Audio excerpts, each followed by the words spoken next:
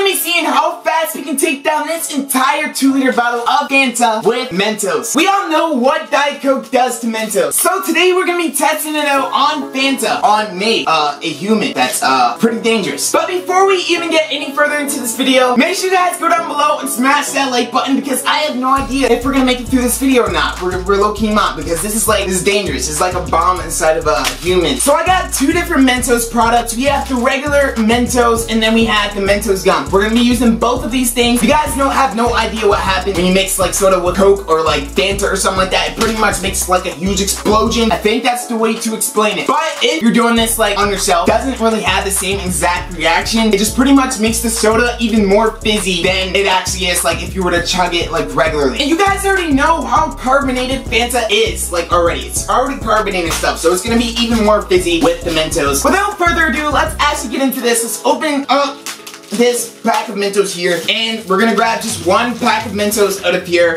This is enough to make this entire bottle explode. It's enough to make it like pretty much hit the ceiling and stuff and make a huge mess, which happened in the last video. So pretty much what we're gonna do is we're gonna swallow this entire pack of Mentos whole. Go. We're just gonna do like, like a time lapse until I can finish this entire pack.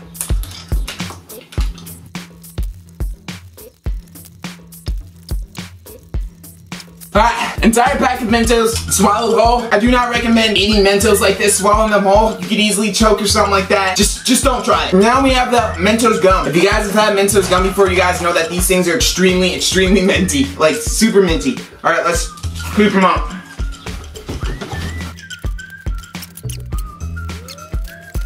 Uh, I feel like we're minty enough. My mouth literally feels like Antarctica, like literally, like I feel so minty. Now, it's time to move on to the Fanta. Oh my god, that, that scares me. That's carbonation right there. Two liter bottle of Fanta after Mentos. Let's see how fast we can take this out. Three, two, one, go!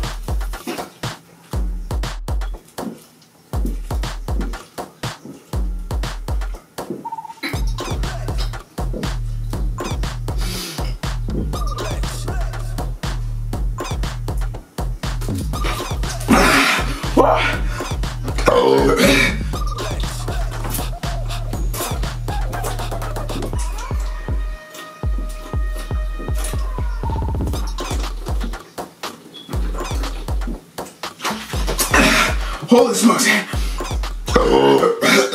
That's so fizzy. Oh my god. Alright, let's go.